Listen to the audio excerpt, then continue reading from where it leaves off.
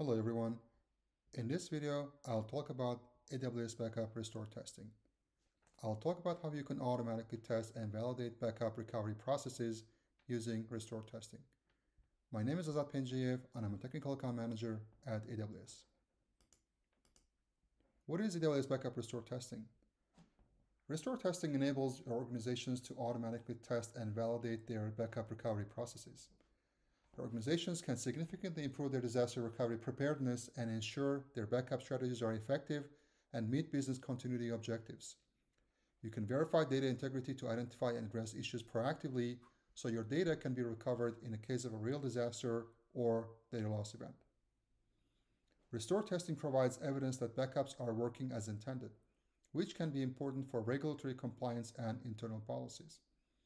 And with restore testing, you can validate recovery procedures and catch configuration errors before an actual data loss event takes place. Here's a sample workflow of AWS Backup Restore testing. First, you create your restore testing plan with testing frequency and recovery point selection.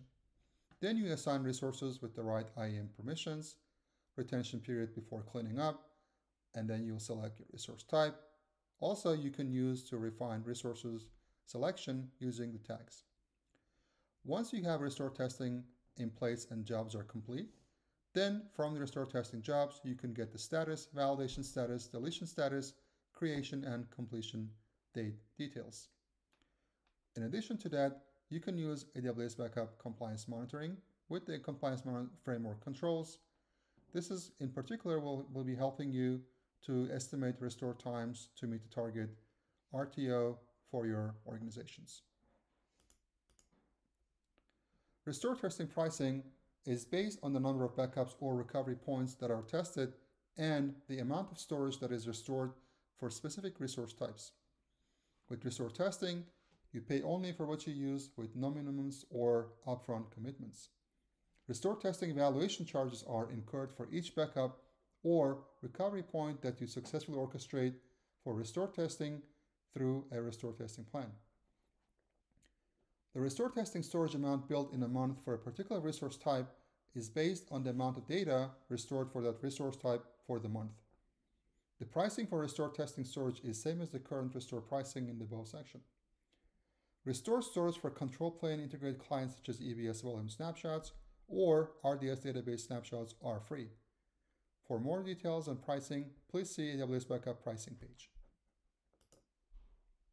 All right, for my demo, I have AWS Backup Restore testing, and I will be catching put restore validation result event from my restore testing jobs.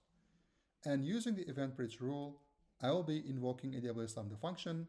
This Lambda function will be doing a validation test for an EBS volume to confirm that restore testing has been done successfully. And once the validation test is complete, I'll be sending notification using Amazon SNS. All right then, let's get to demo. Okay, so let's get started with our AWS Backup Restore testing.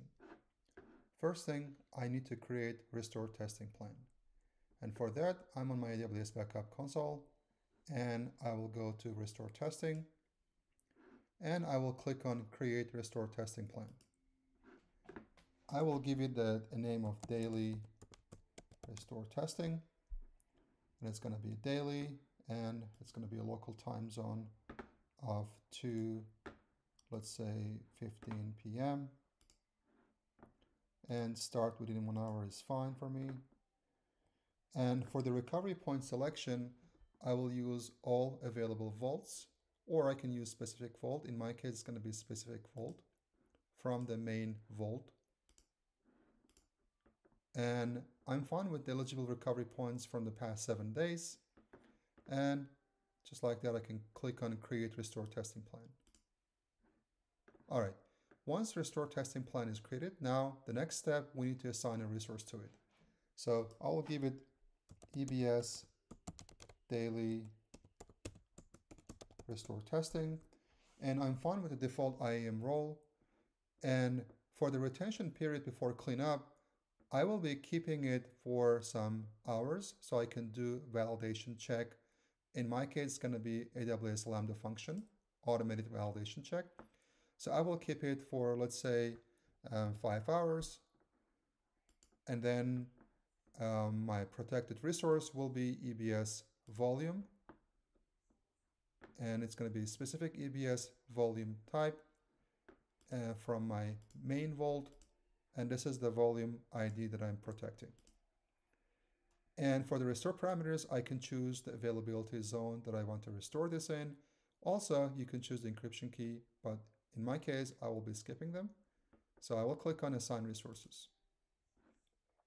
All right, now I have created a restore testing plan and I have assigned a protected resource to my restore testing plan.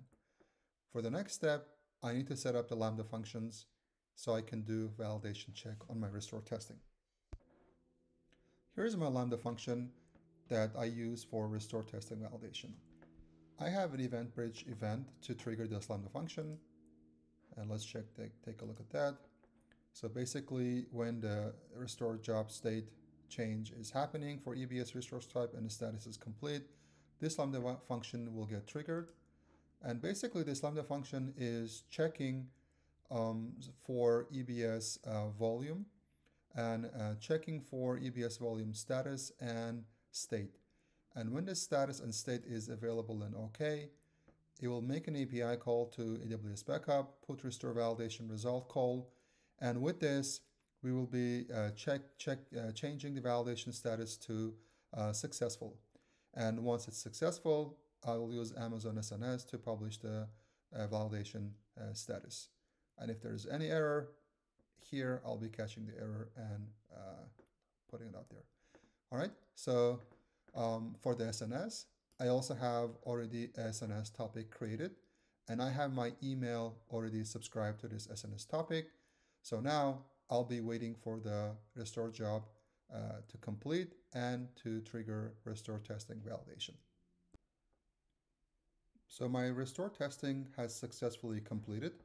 And as you can see here, restore testing job one with the ID. If I click on that one, I can see the status is complete and validation status also is successful. Also, AWS Backup successfully deleted this EBS volume after restore testing and validation both completed, which means my Lambda function had successfully validated this restore testing. And then once it's complete, it has updated the status to successful. In a situation where the validation status is not complete, what you see is something like this. I have a, another restore testing job that had run before. So for the validation status, instead of successful now, you will see timed out. And here is the SNS validation that I have received. I can see that restore testing job status is complete and validation status is successful. With that, I'm done with this demo. Thank you for watching.